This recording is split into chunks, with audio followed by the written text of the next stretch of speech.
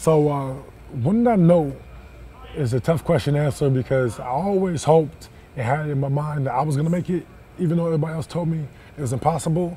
In my mind, I told myself that I was gonna make it, and I did everything in my power to make it. But there was a time when I was, uh, I was a sophomore in high school, and my high school coach, Ryan Mullaney, uh, had me and actually my two older brothers, who were very good athletes as well, stand up and, uh, asked us, or told us that we are the only people in the room that had a legitimate chance to make it to the NFL. Now, he actually played in the NFL for uh, a couple uh, training camps. His brother actually was an eight-time All-Pro, and uh, his name was Mark Mullaney for the Minnesota Vikings.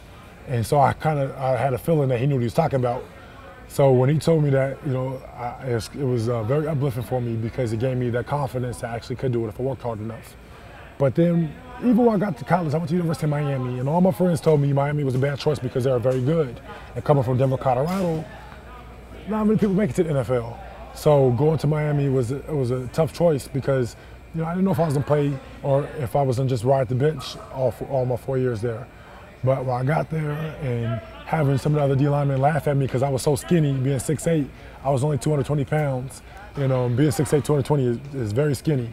So I had to tell myself that I was gonna work hard and get to where I needed to be to be great. So I, I put on a lot of weight, got up to 265 of pure muscle, and I became a great player at the University of Miami. And uh, and I was actually uh, the MVP of the team my redshirt sophomore year. And I had my name on the on the same wall as you know Ray Lewis or Ed Reed or Michael Irvin and some of the great players are in the Hall of Fame. I will be in the Hall of Fame. So for me, that was very lifting.